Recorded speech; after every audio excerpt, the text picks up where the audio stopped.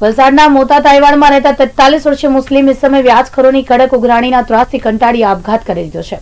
આ મામલે જ્યાં સુધી આરોપીઓ વિરુદ્ધ ગુનો દાખલ કરવાની કાર્યવાહી ન થાય, ત્યાં સુધી મૃતદેહ નહીં સ્વીકારા પરિવારજનોએ હોબાળો મચાવ્યો છે.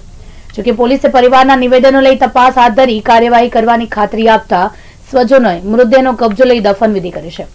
વલસાડમાં વ્યાજખોરોના ત્રાસથી બનાવોથી લોકો વાજ આવી રહ્યા છે.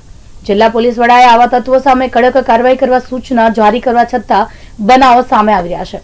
વલસાડના મોટા તાઇવાડમાં મોર્ડન ફળિયામાં રહેતા સજ્જાદ અલી કુરબાન અલી સૈયદ ચપ્પલની દુકાનમાં કામ કરી પોતાના પરિવારનું ગુજરાન ચલાવતો હતો. સજ્જાદ અલી તેની પત્ની ફિરોઝા અને ત્રણ દીકરી તથા અગિયાર વર્ષીય પુત્ર સાથે રહેતો હતો. મૃતક સજ્જાદ અલી એક કેટલાક કિસ્મો પાસે વ્યાજથી સાઠ હજાર રૂપિયા લીધા હતા, જેનું લાંબા સમય સુધી ઊંચા વ્યાજની રકમ હપ્તા ભરતો હતો. પરંતુ આર્થિક સ્થિતિ કથળી જતા રૂપિયા ભરવા વ્યાજખોરોએ ત્રાસ આપવાનું ચાલુ કરતા સજ્જાદ અલી ઘણા સમયથી ભારે માનસિક તાણમાં હતો. શનિવારે બપોરે બાર વાગ્યાના સુમારે તેને કોઈ ઝેરી દવા ગટગટાવી લેતા તેને સિવિલમાં દાખલ કર્યા હતો. જ્યાં બે દિવસથી સારવાર દરમિયાન દમ તોડી દેતા પરિવારને નોંધારું બની ગયું છે. પોલીસ અકસ્માતે મોતનો દાખલ કરતા પરિવારજોને મૃતદેહનો કબજો લેવાની ના પાડી દીધી છે.